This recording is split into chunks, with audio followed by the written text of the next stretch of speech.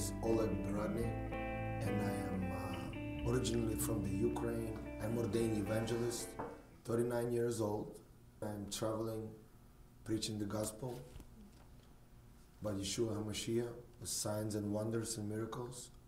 I came to uh, United States when I was uh, uh, 25, uh, 25 years ago, when I was 15 years old. When I was 15 years old, I um, went to church, but I went to church with my friends. Now, that was a Christian church. That was the church that they believed, of course, they believed in Yeshua HaMashiach. Of course, they believed in uh, Ruach HaKadosh, which is the power of, you know, Holy Spirit. So I was sitting in the balcony. I was sitting in the balcony. And the now I know that Jesus appeared. I know, but back then I didn't know. I'm sitting in the balcony and Jesus appeared to me in a white robe. And I was changed like this, like this. So one of the ministers, they ran, he ran from the bottom because we were on the second floor in the balcony. He ran from the bottom and he said, What happened to you, young man? He knew God spoke to him. He knew that something has taken place. And uh, when I came to that service, all my friends, we were just, you know, hey, you know, just kind of, uh, you know, not misbehaving in church, but we were like joking around. But when that thing happened, when I saw it, it's like my scales from my eyes were lifted. I could see it. Nobody told me, hey, you need to believe in Yeshua HaMashiach, you need to do this. You know, I was touched by that solid experience that, that I've seen.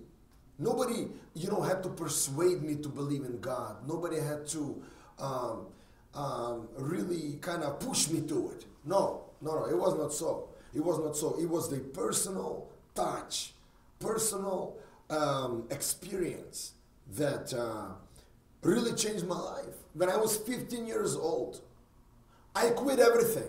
I quit soccer. People say, wow, how, how? I quit everything. I quit everything. I totally get, at 15 years old, I'm 39 right now. You know, no turning back. I quit everything.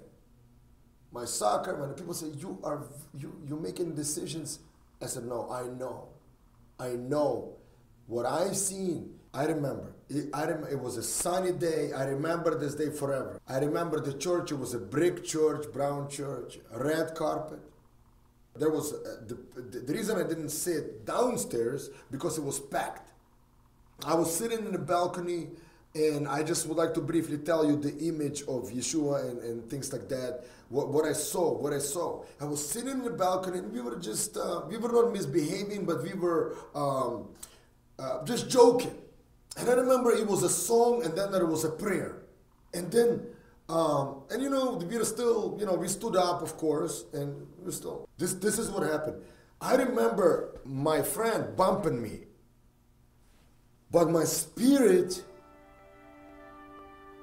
was when when I saw that. Uh, first, it was a white man in a row, and, and, and he was standing in the air. I was in a balcony and I was looking down at the church, and he was standing right there in the air, a little bit up, a little bit, you know, standing right there in the air, standing right there.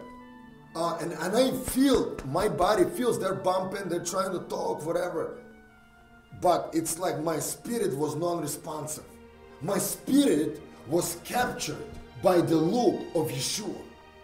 But I remember uh, they were, but I was non responsive. It was like, it was such a magnetic force. It was, you know, like the magnet, two big strong magnets, it's like, pow! That's how it was. When I saw him, uh, I don't remember here, but I remember his eyes. The eyes were, were um, so loving, but yet at the same time, they were, they were very piercing as if he, when he looked at me, he knew everything. When he looked at me, he knew um, the depth of my soul, of my spirit. And the funny thing is, I did not say nothing uh, with my mouth, but we were communicating. We were communicating spirit to spirit, but that time I didn't know. I didn't know that. It's like a magnet.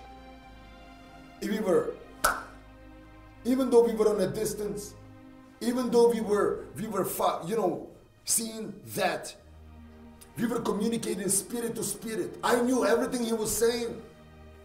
He knew everything I was saying, but I, my mouth didn't move. I, you know, mostly people say, "Oh, accept Yeshua. You need to ask, you know, Yeshua to come to your." Life. Never happened to me. It was installed in me supernaturally. Yes, I remember little kind of face, you know. It was darker skin, darker pigmentation skin. Um, here I don't remember. I really don't. There was here, but I don't remember. The eyes, what got to me. It was it was loving but yet piercing. I mean, one look. I just looked one time. Pow. I was, it was changed. I remember when that image came to me, and I saw from some for some reason when that image appeared of Jesus, Jesus appeared. I saw him from the bottom of his feet. I looked the bottom feet. Oh, wow. And you know, the moment my eyesight came towards the the head, and um, and I saw that's why I remember the little skin, and, and, and, and I know there was a hair. But when the moment my eyes locked in with his eyes, that was it. I still saw him, but the communication was uh, in that moment. In that moment, he told me that he loved me, even though I didn't. He didn't speak his mouth. Spirit. In that moment, I told him, "Hey, I need, I, I need you." I didn't speak. But it was co- I see now I can explain it. Back then, I couldn't explain it. When that when that minister ran from the bottom to the top of the balcony, he said, "Young man, what happened to you?" I said, "I don't know. I just saw, you know, you know, Jesus, Yeshua. I don't know. I didn't know. But when I started at that time, but when you start uh, understanding and I start praying, reading the Bible, you know what really, that's what I'm saying. I'm still to this day trying to process. It's like the computer, you download the program, but, but still you need to then figure out how the program works. Same thing happened to me. He was downloaded into me. He was like deposited. You know, Latin language, he said, he gave us a deposit. Uh, gift of the of the Ruach Hakodesh, the gift of the Holy Spirit, it's a deposit. It was like deposited into me. So after my eyes locked with his eyes, I still was looking at him. But it was an exchange of information on a spirit. He said, I love you. And he showed me he died for me. I remember it was like a little film, a little film of his crucifixion and, and all of that. I don't know. Maybe it took three three minutes. Maybe it took five minutes. Maybe it took ten minutes. I don't know because sometimes the prayers would go long in in the, in the church. People would really pray, you know, shikarabara, and you know, thank you, Holy Spirit, you know, all this stuff. People would really, really get it. I don't know how long. I, I don't know. But I do remember that my friends would keep bumping me. I remember, but I couldn't respond. You see that? I could not respond. It was so powerful. Uh, the exchange. It, it's like he locked my spirit. He locked my uh, spirit um, inside my body that my body could not react to anything. That was that, that that was amazing.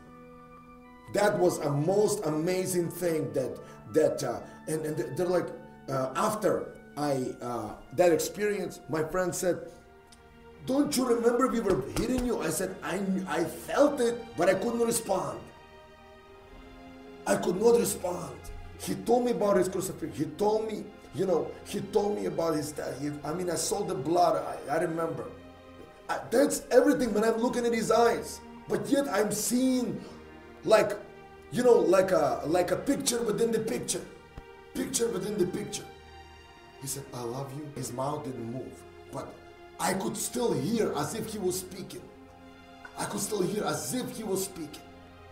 And he said, Serve me, give your life to me. And all I remember at that time, I said in Ukrainian, Dobre means good. Okay, you know, like in English, okay.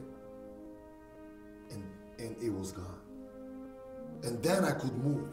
I mean, and, but then I, my spirit was released.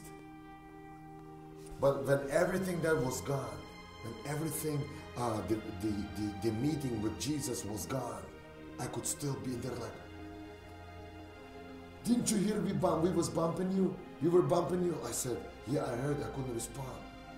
But they said, when you look at us, we knew. My friends, they were non, non-Christian.